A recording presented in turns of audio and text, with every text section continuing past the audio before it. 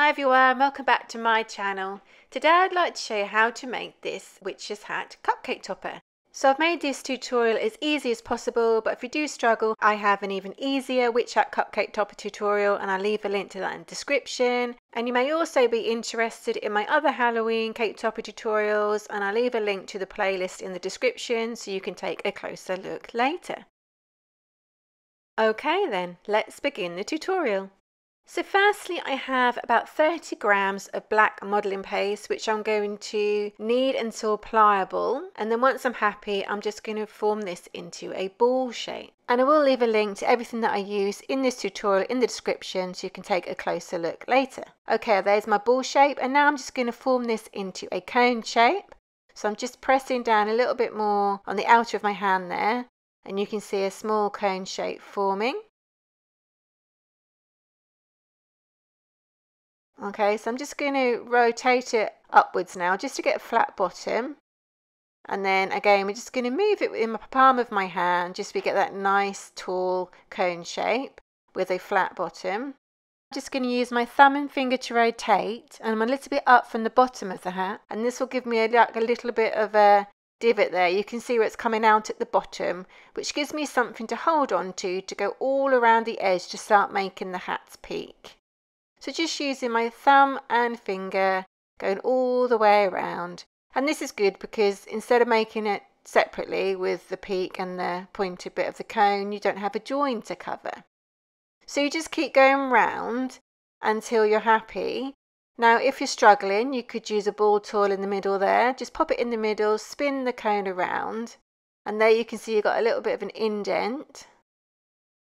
And now you can just use your thumb and finger again just to go around and that gives you a bit more pace so you can make a bigger peak and a thinner peak if that's what you wanted.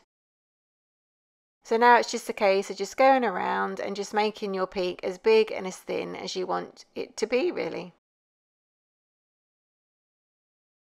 So now I'm just going to make the top a little bit more pointed by just pulling it up with my thumb and finger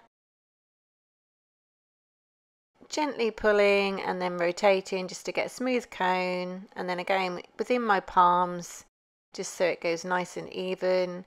And now I'm just going to gently just bend that over there at the top because I'm going to have a little bit of a curved hat at the top there. It's going to be bent at the top.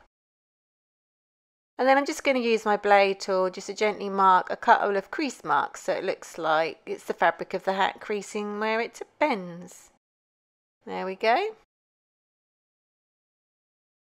and guys, if you do like this tutorial, please do give it a thumbs up as it really helps my channel. Thank you.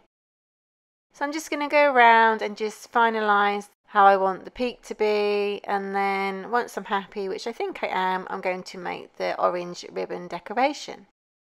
Okay, to make this I just coloured some white modelling paste orange and I'm just going to form a small piece of it into a tube shape here and then I'm just going to pop it onto my board and then I'm just going to use my cake smoother to carry on rolling it out so I get a nice even tube shape.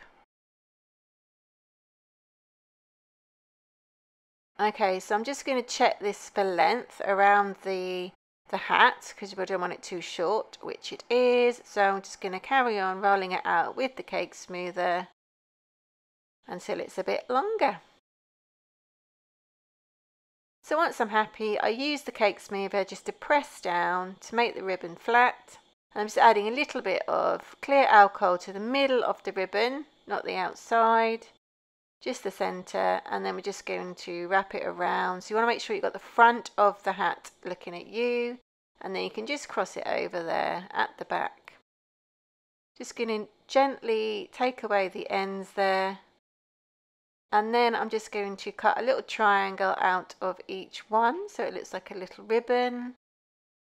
If you're new to my channel, please don't forget to hit subscribe so you're notified of my next tutorial.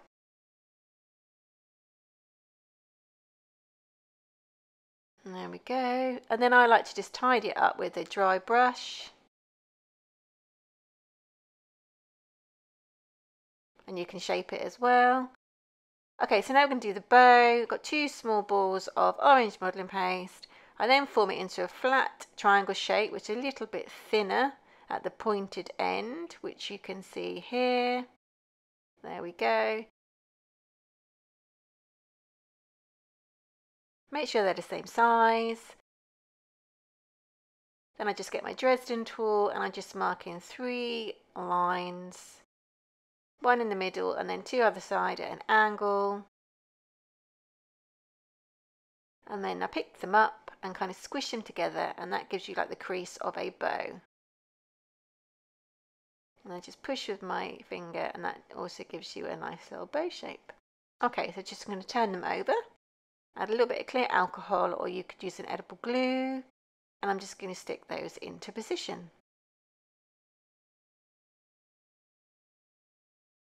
There we go.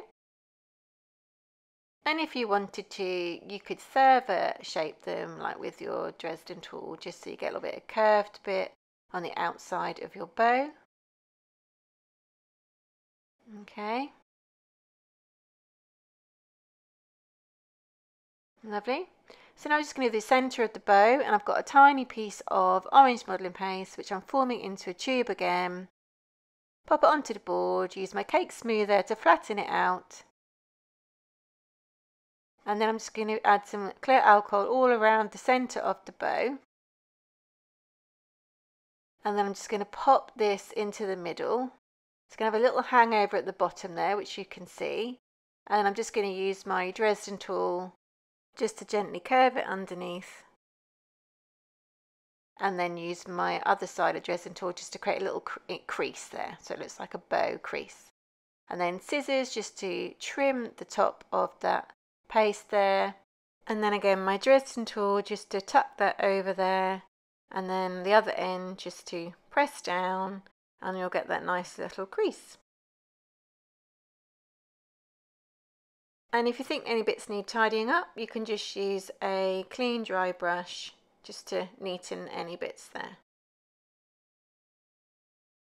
So that's your hat pretty much made. What I like to do is just go around the rim of the hat just to bend the edge up a little bit in places to make it look a little bit weathered and a little bit more realistic and it also gives it a little bit of character.